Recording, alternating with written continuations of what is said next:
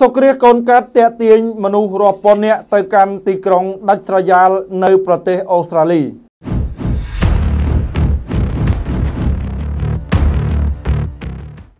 សុគ្រាកូនកាត់ដ៏កម្រមួយនៅទីក្រុងដាច់ស្រយាលនាឆ្នេរសមុទ្រភាគខាងលិចនៃប្រទេសអូស្ត្រាលីបានតាក់ទាញមនុស្សរាប់ពាន់នាក់កាលពីថ្ងៃប្រហ័សដើម្បីធ្វើជាសាក្សីក្នុងព្រឹត្តិការណ៍នេះអ្នកគ្រប់គ្រងតារាសាស្ត្រនិងអ្នកចូលចិត្តមកពីជុំវិញពិភពលោកបានធ្វើដំណើរទៅកាន់ទីក្រុងតូចមួយនៅមាត់សមុទ្រដែលមានចម្ងាយប្រហែល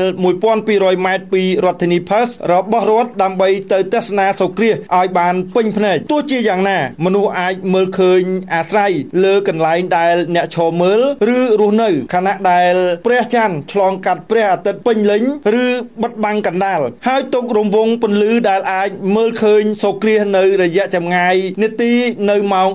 11:29នាទីព្រឹកម៉ោងក្នុងស្រុកធ្វើឲ្យអ្នកទេសនាធ្លាក់ចូលទៅក្នុងភាពងងឹតនិងសីតុណ្ហភាពធ្លាក់ចុះសូមជម្រាបដែរថាសូរ្យគ្រាសដែលកើតឡើងកាលពីថ្ងៃប្រហ័សគឺជាប្រភេទកូនកាត់ដ៏កម្រដែលមិនបានឃើញទូទាំងពិភពលោកចាប់តាំងពីឆ្នាំ